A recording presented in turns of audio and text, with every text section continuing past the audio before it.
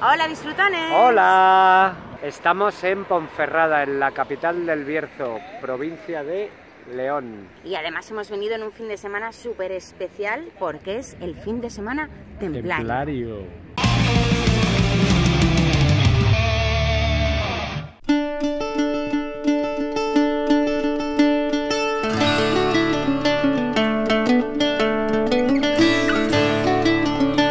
Casa del botillo.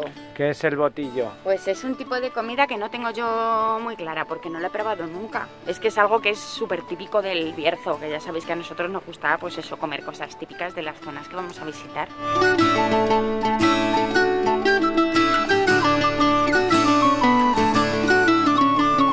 Es un sitio de banquetes, comuniones, cumpleaños y tal es súper bonito.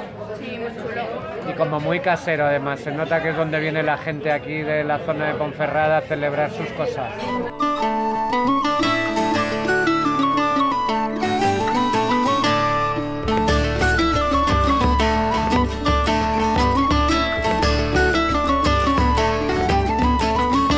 ¿Veis? Esto es el botillo con la tripa y dentro está relleno de costillas y carne de cerdo. Carne de cerdo.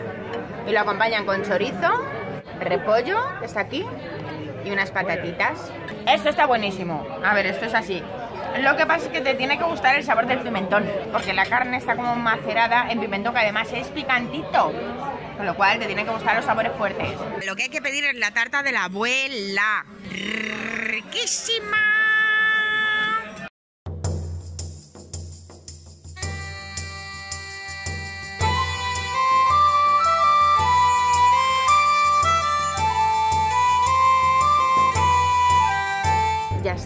Aquí, que vamos a disfrutar de la fiesta templaria en Ponferrada. Estamos ahora en la plaza del Ayuntamiento de Ponferrada. Sobre todo llama la atención el ayuntamiento, que es de estilo barroco, súper bonito. Y como son las fiestas de la noche templaria, pues tenemos aquí un mercado templario que ahora vais a ver, muy chulo, donde muy mala suerte habrá que tener para que no compremos unos quesitos, unos vinos, unas cosillas de esas que nos gustan a nosotros artesanas. Cuesta mucho todo el artesón, ¿no?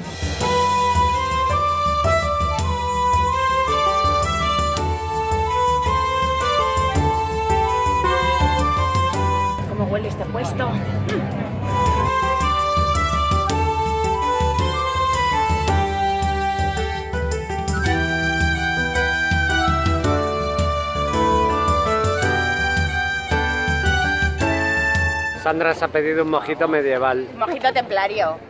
De fresa. ah, qué guapa el vestido que se ha pillado. Vamos. Disfrutones, este que está aquí detrás es la Torre del Reloj, que es del siglo XVI. Está asentada sobre el Arco de las Heras, que es el único que se conserva de la muralla medieval.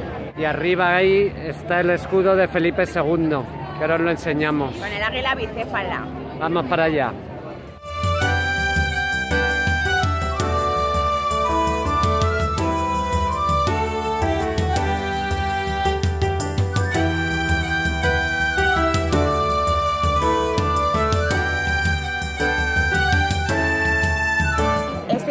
Bonito era el antiguo ayuntamiento y la Real Cárcel del siglo XVI. Qué ambientazo tiene esta calle, ¿verdad? Ah, que sepáis que ahora es el Museo del Bierzo, por si queréis visitarlo.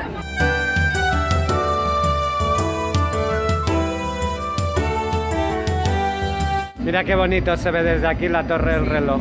Y luego además con las banderolitas y tal. Está muy bonito todo.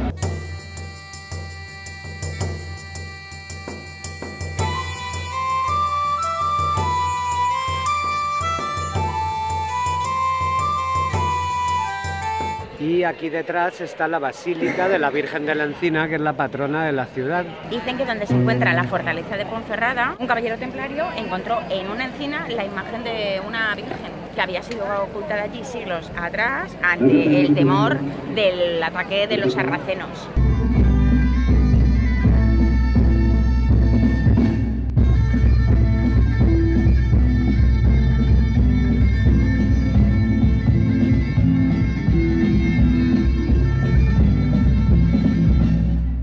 Joya de Ponferrada, sin lugar a dudas, es su castillo templario, la fortaleza. Es del siglo XII y está construido sobre un castro celta. Y aquí es donde estaban los caballeros templarios que custodiaban la ciudad.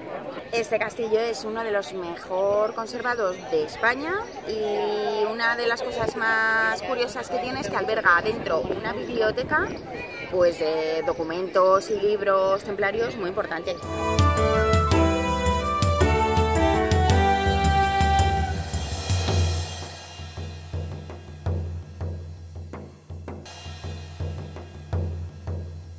Descansito.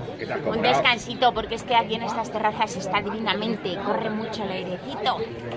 Y hay un ambiente muy chulo, ¿verdad? Ahí con los señores con sus capas. Muy bien, muy bien.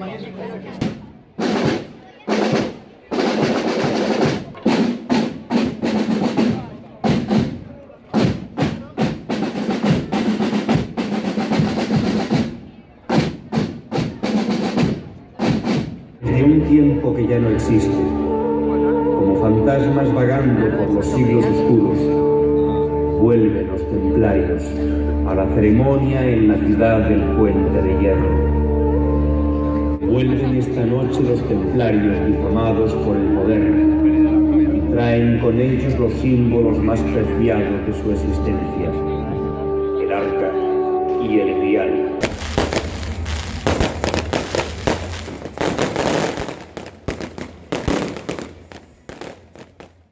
Queríamos despedir de vosotros desde pues, la joya de Ponferrada, que es el Castillo de los Templarios. Eso es. Si os gusta esta zona, no os olvidéis del vídeo que hicimos sobre las médulas. Os lo dejamos aquí, es muy chulo y está a menos de media hora. Esta semana vamos a subir un montón de fotos espectaculares a nuestro Facebook, Twitter e Instagram sobre Ponferrada y sobre la noche templaria. Y si vuestros pueblos tienen un castillo, unas fiestas templarias o un plato como el botillo, enviadnos un mail a viajando a nuestro aire para contarnos vuestros secretillos y que vayamos a visitarlo con vosotros. Eso es. Nos vemos la semana que viene en un nuevo vídeo de Viajando a nuestro aire. Adiós.